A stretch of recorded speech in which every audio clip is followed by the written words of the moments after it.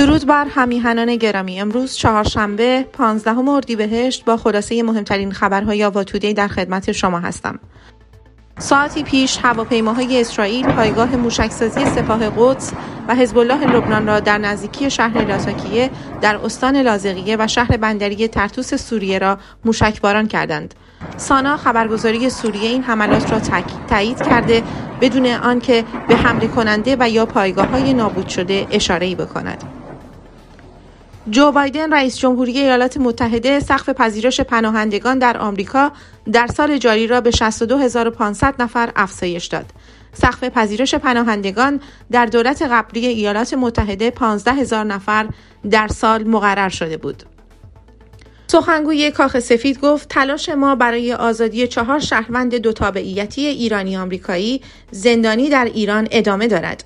او برای اولین بار اشاره کرد مذاکرات بین ایران و آمریکا در این مورد وجود دارد و این مذاکرات جدا از گفتگوهای هسته‌ای از کانال دیگری پیگیری می شود. سخنگوی سناتور تد کروز به فاکس نیوز گفت رژیم ایران هرگز دست از جستجوی سلاحهای کشتار جمعی برای استفاده علیه آمریکا و متحدان ما بر نداشته است. هر معامله ای با رژیم ایران که به عنوان پیمان ای به سنا نیامده و توسط سنا تصویب نشده باشد می تواند توسط دولت آینده برگردانده شود. وبسایت رسمی دونالد ترامپ رئیس جمهور پیشین آمریکا با عنوان از روی میز دونالد جی ترامپ راه اندازی شد و در دسترس عموم قرار گرفت. دونالد ترامپ از این پس بیانیه ها و سخنان خود را از طریق این وبسایت منتشر خواهد کرد.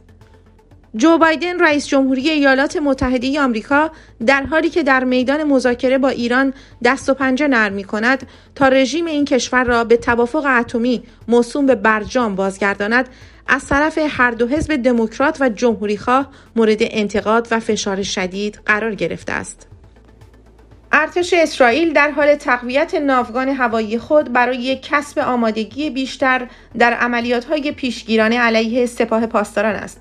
در نشریه فوربز با اعلام خبر تقویت هرچه بیشتر ارتش اسرائیل به سخنان اخیر الی کوهن وزیر اطلاعات اسرائیل مبنی بر اینکه توافقی بعد با جمهوری اسلامی منطقه را به سوی جنگ سوق می‌دهد اشاره شده است